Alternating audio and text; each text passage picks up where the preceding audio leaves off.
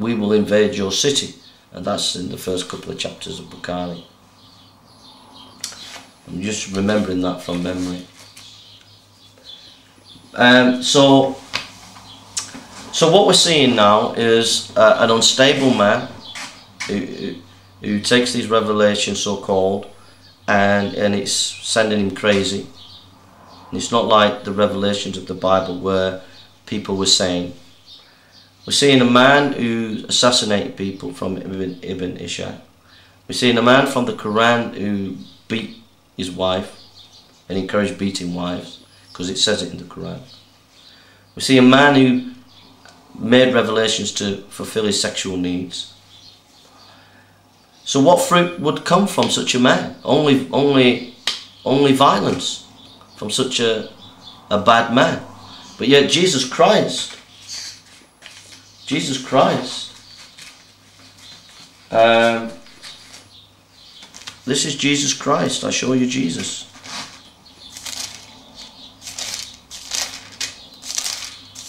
Compare that with Jesus' life.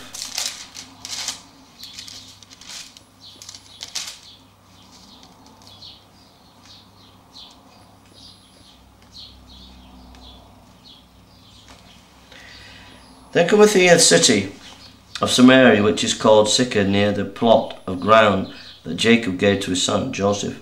Now Jacob's well was there, and Jesus therefore being wearied with his journey. This is John chapter 4. There cometh a woman of Samaria to draw water. Jesus said unto her, Give me to drink. His disciples was gone away unto the city to buy food.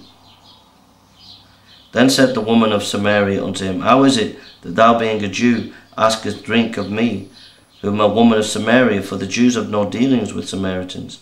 Jesus answered and said unto her, If thou knewest the gift of God, and who it is that said to thee, Give me to drink, thou would have asked of him, and he would have given thee living water.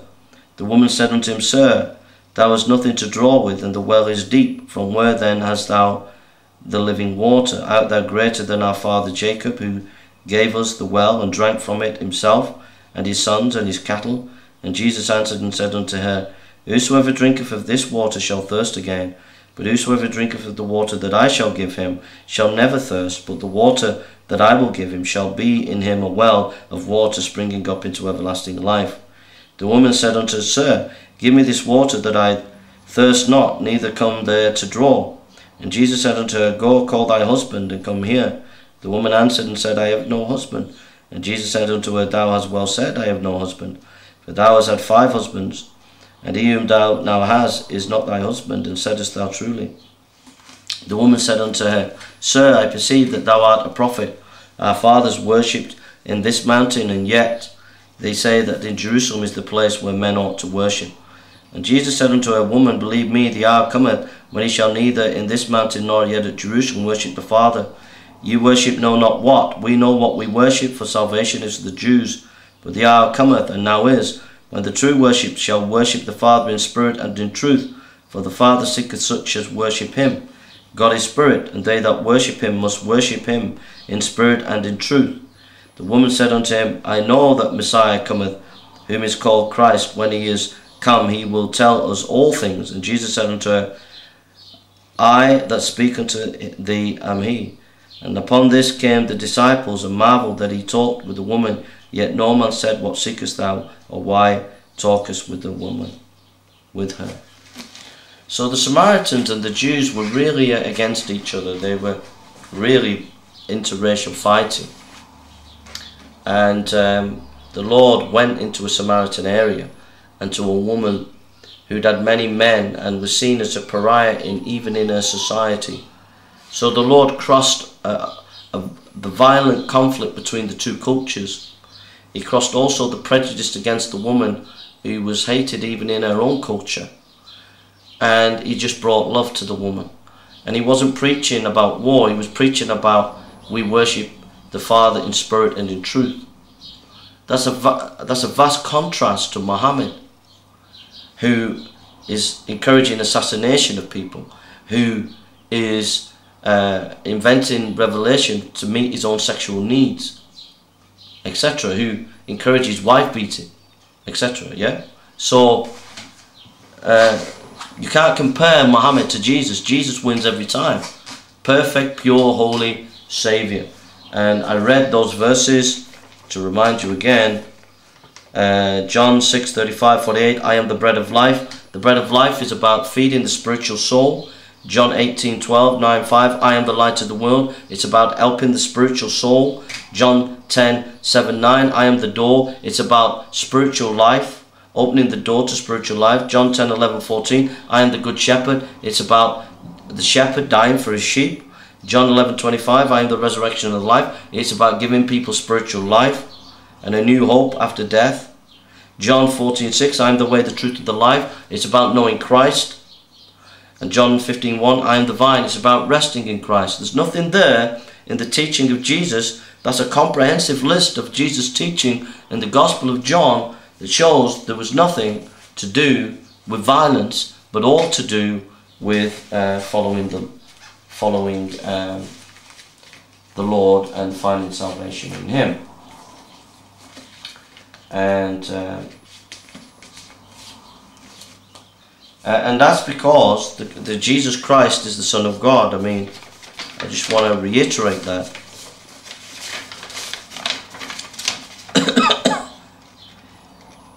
uh, Jesus is God. It says in Isaiah 9 6 For unto us a child is born, unto us a son is given, and the government will be upon his shoulders, and his name will be called Wonderful Counselor and Mighty God. Isaiah 7:14 Behold the virgin shall conceive and bear a son shall call his name Emmanuel God with us Matthew 1:23 um, Jesus was eternally pre-existent John 1:12 John 8:58 Hebrews 13:8 Jesus reigns supreme over everything including all creation Colossians 1:15-20 John 1:3 Jesus is to be worshipped Matthew 2:11 14 33 28 9 john 20 28 hebrews 1 5 9 jesus forgives sins matthew 9 verse 2 to 6 mark 2 verse 5 to 12 acts 26 verse 15 to 18 jesus gives eternal life john 3 16 uh, john 5 39 40 john 27 10 27 john uh, 20 to 31 Jesus claimed to be God. John 8 38 58. Before Abraham was, I am. The same name used by God to refer to himself in Exodus 34 3. Jesus demonstrated he was God. He had power over spiritual forces. Mark 1 23 to 27. He had power over natural forces. Matthew 8 verse 23 to 27. He had power over sickness and disease. Matthew 8 verse 1 to 3. He was power over death for others, Matthew 9, 23, 25. He has power over his own death, Matthew 17, 9. Others recognize Jesus as God, uh, Matthew 16, 16, Luke 9, 20, John 1, 1, 2, and 20, uh, John 20 to 31. So, Jesus was God in the flesh, so you can't compare Muhammad, a false prophet, with the Son of God. There is no comparison. There's absolutely uh, no com comparison whatsoever. Now I want to read this.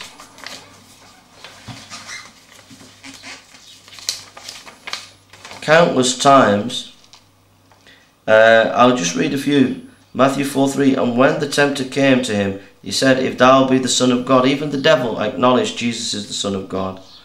Matthew 4 6 And said unto him, If thou be the Son of God. Matthew 27 40 And saying, Thou that destroyest the temple and build it in three days, save thyself.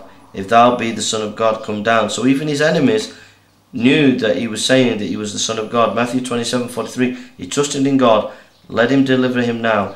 He will have him, for he said, I am the Son of God. His enemies were acknowledging Jesus said that he was the Son of God. Mark 1 1, the beginning of the gospel of Jesus Christ, the Son of God. Mark 3:11 Unclean spirits when they saw him fell down before him and cried saying thou art the son of God. So even the devil acknowledged that Jesus is the son of God the devils. Mark 15:39 And when the centurion which stood over against him saw that he so cried out and gave up the ghost, He said, Truly, this man was the Son of God. I can go on and on and on. 1 John 5.13 These things have I written unto you, that you believe the name of the Son of God, that you may know that you have eternal life, and that you may believe on the name of the Son of God. So the claims of Christ by his disciples were that they said that he was the Son of God. So this is a different category of person than Muhammad. Muhammad was a guy who had sexual needs, needed women, invented revelation, who had crazy thoughts and knew, uh, and and who was tricked by Satan, and uh, who encouraged assassinations, who encouraged wife beating, and who married his adopted son's wife.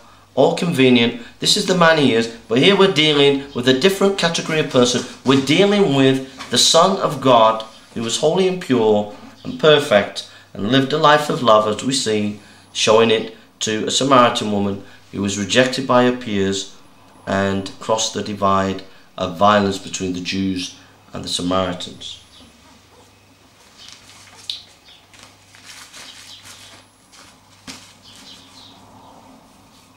So, uh, we we didn't get into uh, the Quran, but now we'll get into the Quran and. Uh,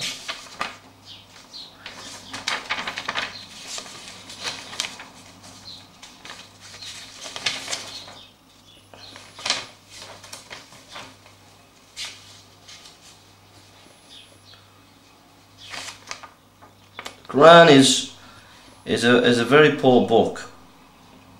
Theodore Nöldeke says about the Quran: chaotic confusion, prosaic, stiff in style, tedious sermonizing, rhetorical, never metrical. The rhyme, on the whole, a burdensome yoke. Superfluous verbiage, syntax betrays great awkwardness, tiresome effect of its endless iterations, so that dogma turns a defective literary production into an unrivaled masterpiece in the eyes of the believer. Nöldeke, 1998, page 36. It's a very old scholar. Solomon Reinach, from the literary point of view about the Quran, the Quran has little merit. Uh, declamation, repetition, plurality, a lack of logic and coherence strikes the unprepared reader at every turn.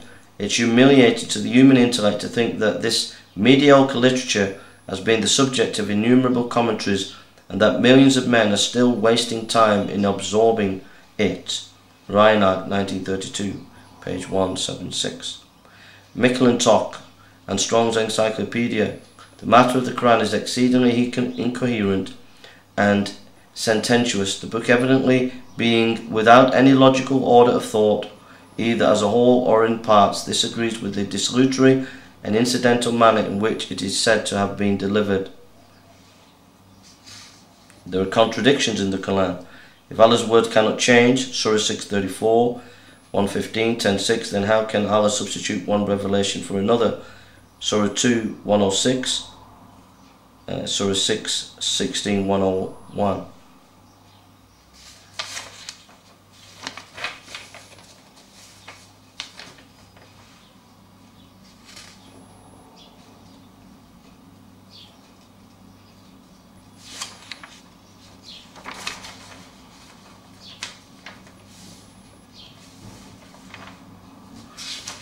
We, could go into a lot of information there, but um, but I, I want to get into the Quran now just a, a little bit.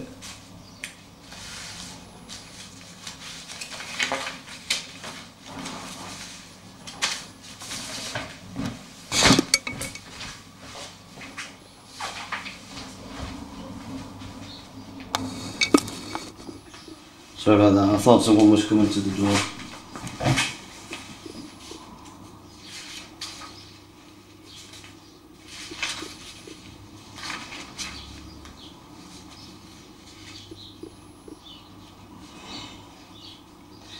So in the Quran, it teaches these. It says in Surah 55 56, uh, heaven is with chaste females whom no man has been with. Surah 55 70, fair and beautiful woman in heaven. Surah 55 72 74, beautiful fair females guarded pavilion virgins. Surah 56 22, Ur with wide, lovely eyes in heaven.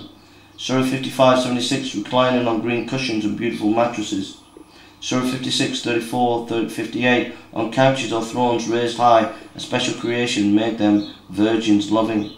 Surah 56, 17, immortal boys will go around serving with cups flowing with wine. So Muhammad's Quran is very sensual. So that itself is going to produce a mindset for sensuality, a sexual desire in Muhammad's soldiers, in Muhammad's men.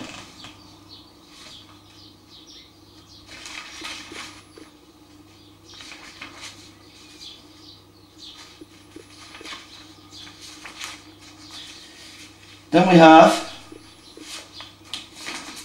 then we have here a list all the verses on the doctrine of war in the Quran. Now this was all, the Quran was only revealed over like a short period of time, 20 years, maybe a bit more.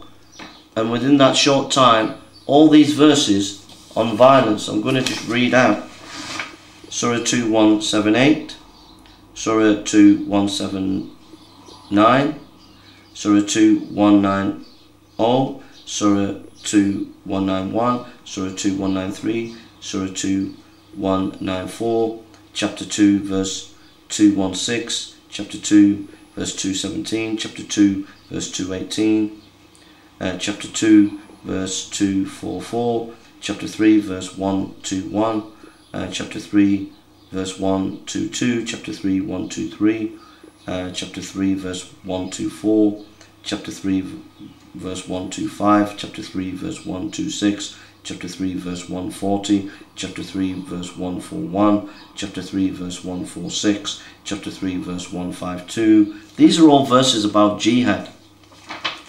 And that's how many verses there are in the Quran a doctrine of war, going out to fight. There it is. And I, brought, I never brought that up because I was just focusing in the debate on Muhammad. But there are 149 sword verses to encourage war and violence. Now, even if you get many of these verses in the context, and you can do that, you can get many of these verses in the context and uh, to be fair, some of these are about self-defense. But even when you've got all these verses in context, it's clear that Islam is a religion based on war. When you read uh, the Apostles uh, in the book of Acts, Stephen in chapter 7 of Acts is killed, stoned to death. He doesn't pick up a sword to fight. He just preaches Jesus died and rose again and he gets stoned to death by the Jews. Paul gets converted, chapter 9 of Acts, goes around preaching, and he is beaten black and blue everywhere he goes. He doesn't lift a finger to fight, he just preaches. And then he's chipped off to Rome and he dies as a martyr. We have, we have information that Peter died as a martyr. They never lifted a finger in violence, they just preached the gospel. Um, but here we have tons of verses, 149 verses of the Quran that are all about war. So Muhammad's followers were trained and taught that they could go to war and fight. Jesus' followers in the book of Acts go and preach and get killed for preaching. Muhammad's followers, to spread their faith, go and fight battles and wars and propagate their religion that way. And that proof is there in the Quran. Okay. So we have a lot of information there.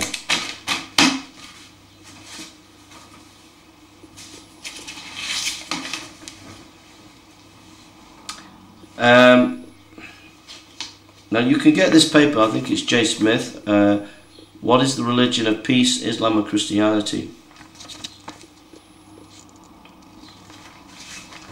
Now, do a study on apostasy. Go and have a study, just Google apostasy in Islam and just go and study. And you'll find that right throughout the history of Islam, um, you will find uh, a good source. Uh, if you go onto Wikipedia and Google apostasy in, in Islam, there's a whole history of his apostasy there, and it's a very fair article. It looks at various nations and cities, etc., where apostasy in Islam is uh, against the law and where people are killed. And so, even in Islam, there is violence there. If you convert to Islam and then you leave Islam, you're in danger of death. And that is in some Islamic countries. Now that is a direct influence from Muhammad's example of encouraging assassination of anybody who doesn't agree with him. Okay? Doesn't specifically come from the, the Quran. It comes specifically from Muhammad's example of encouraging assassination. And, and if you go in the Wikipedia article, underneath they give you historical sources, uh, academic sources uh, for and against what Wikipedia is saying. So there are some really good academic material under there that you can go and use if you haven't got time. Um, you know, don't. It's not wrong to read Wikipedia if they've got really good sources, and there's some good sources under the article there.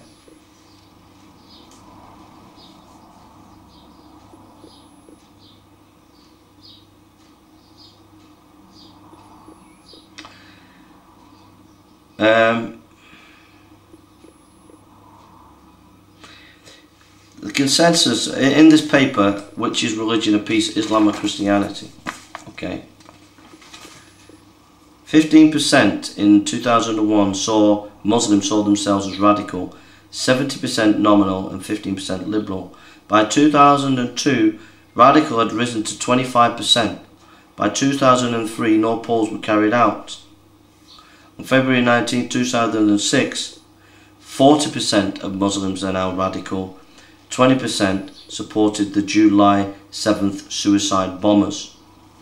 Source Peter G. Riddell and Peter uh, Cotterell, Islam in Conflict, Leicester, England, IVP, 2003, chapter 10 and 12 and page 193. Also, lecture by Riddell on the theme Muslim Views on the World held at the London Institute of Contemporary Christianity and sponsored by the, the London Lecture Trust October 23, 2003, Sunday Telegraph, February 19, 2006. So there is some academic source and a popular source from the Sunday Telegraph. Radical Islam is growing globally. Paul radicalized, uh, Poll on radicaliz uh, radicalization by Pew International, March 2004. Turkey equals 31%, Morocco 45%, Jordan 55%, Pakistan 65%. 80 million Muslims out of 140 million regard themselves as radical Muslims, i.e., those who are like ISIS who want to start jihad. That's the Pew International poll of 2004 80 million out of 140 million Muslims polled. Impact since 9-11. With spiraling violence today, much of it perpetuated by radical Muslims in the name of Allah, we need to take a closer look at what is happening in Islam in post 9-11. So there is a history of radical Islam. We have the Hassan al-Banna 1946 Muslim Brotherhood, the Sayyid Qutb 1906 to 1966 in the shade of the Quran is a milestone. Abu al-Mawdi Jamaat Islama uh, Ahmad Zawahiri Islamic Jihad Osama bin Laden al-Qaeda and 1970s President Hezbollah named uh, Muhajirin Hizb ul Tahir. the radicalization of modern Islam Yusuf al-Qadari moderate yet out of the closet, suicide bombers, wife beating, homosexuals. In other words, uh, from 1948 we have these various groups here that have been encouraging radical Islam around the world. And their kind of views was polled by Pew International and 80 million out of 140 million agreed with the kind of radical violent Islam that that Muslims say that the Quran and Islam doesn't teach when, when it does. Now I want to say, I did not ask to be part of the debate with Adnan Rashid. He invited me, so just to let the police know, this is a scholarly rebuttal of Adnan Rashid, okay? So let's read a few verses.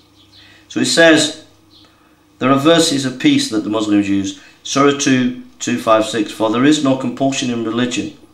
The law of abrogation, Surah 2, 106, 16, 101. That which we give, we give something better. Surah 2, 190, 193. Those who fight you do not transgress limits. Slay them wherever you catch them, and fight them until their parallel prevail faith, prevail faith in Allah. So the Muslim said there's this peace verse, but then you look and then the reverse that contradicts it. So you have moderate interpretation and you have radical interpretation of these kind of crazy verses. So moderate interpretation, Surah 5, 31, 32, Raven and blood of Abel, we ordained for the children of Israel that if anyone slew a person, it would be as if he slew the whole people, and if anyone saved a life, it would be as if he saved the life of the whole people. So there Muslims use that to say, look, Islam's about love. But then the radical interpretation, Surah 5, 31, 32, we ordained for the children of Israel that if anyone slew a Muslim, it would be as if he slew all Muslims. And if anyone saved a Muslim, it would be as if he saved the life of all Muslims. So people see, the radicals see it as that that verse is about Muslims. The Medina sword verse, Surah 9, 5, but when the forbidden months are past, then fight and slay those who join other gods with Allah. Wherever you find them, besiege them, seize them, lay in wait for them with every kind of ambush. Sword verse against Christian and Jews, Surah 929. Make war upon such of those to whom the scriptures have been given as believe not in Allah or in the last day, and who forbid not what Allah and His apostles have forbidden until they pay tribute. Methodology of sword verses, Surah 47 4. When you encounter the unbelievers, strike off their heads until you have made a great slaughter among them. Surah 8:39, and fight them on until there is no more tumult or oppression, and there prevail justice and faith in Allah. Response for those who die in jihad. Surah 474, let those who fight in the cause of Allah, who sell the life of this world for hereafter, to him who fighteth in the cause of Allah, whether he is slain or gets victory, soon shall we give him a reward of great value. Surah 47 4 6. But those who are killed in the way of Allah, he will never let their deeds be lost on admit them to paradise. So here we see the verses very clearly that Muslims have verses that you can interpret peacefully, but then you have the contradictory verses, uh, and that's where the problem is.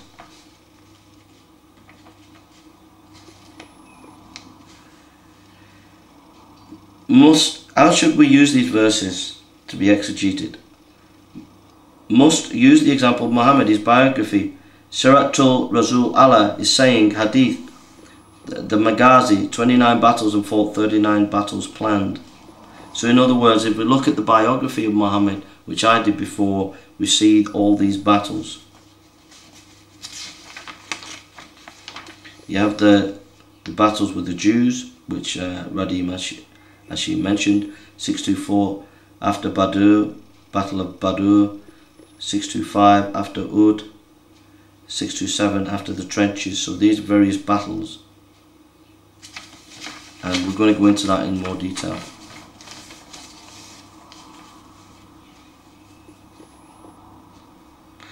So what we've looked at there is a lot of information there about the Quran and about how Muslims try to exegete and make it softer, but how there are Quranic verses that encourage violence. And you have to get every of these verses in their context. We can't do that in this talk, but I have done it with Ali Dawah. I've done some talks, five talks on this uh, using Ali Dawah and, and going into the sword verses in context. But here we see there's a mass full of information about violence in the Quran, and whichever way you interpret it, it's encouraging the, a doctrine of war and uh, that that's that's spilled out into Islamic extremism throughout the world today, where a poll showed that 80 million Muslims out of 100 and odd Muslims, million Muslims, uh, side with this radical interpretation of Islam, which I don't think is radical. I think it's just what Islam teaches. Now, uh, in the debate, Rashid counters me by now I didn't go into all this stuff. I didn't go into all the ra- the history of radical Islam. I didn't go into um, the sword verses. Uh, I just pumped, keep punching on Muhammad, and I only had a bit of information that I had, so I had to be very careful what I said. But here we're unpacking more